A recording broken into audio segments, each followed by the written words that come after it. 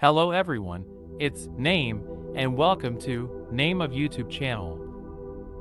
Today I'm bringing you an update about a frightening situation faced by residents in Vernon, British Columbia, who have been experiencing landslides and large-scale flooding this week. Whiteman's Creek on Okanagan Indian Band, OKIB land, filled to capacity and spilled its banks, which ran through yards and flooded homes, streets, and even a car. Wednesday morning, the water had receded, but the destruction was severe. Falcons Avenue was caved in, and the end of the street closest to Okanagan Lake is a pit filled with rubble and exposed pipes. One resident said, The damage is devastating, as people have lost their homes. Don Buchan said his basement was filled with over a foot of water, which totaled his mother-in-law's suite. Several homes were damaged in the flood, and it is still uncertain what the extent of the destruction will be as officials are yet to assess the damage.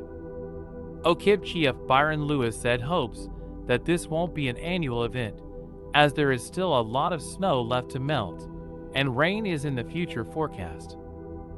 Louis said the White Rock Lake wildfire two years ago is having a major role in contributing to the flooding, as it removed timber coverage that would typically slow the melting process, and its damage to the ecosystem has made it easier for debris to flow freely.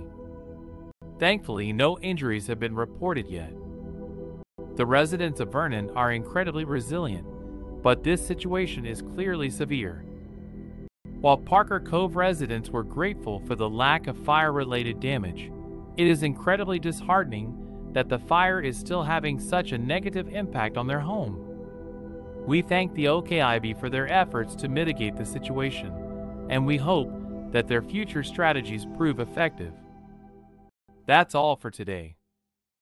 I'll be sure to update you if there is any more information on this situation. It's been Name, and thank you for watching.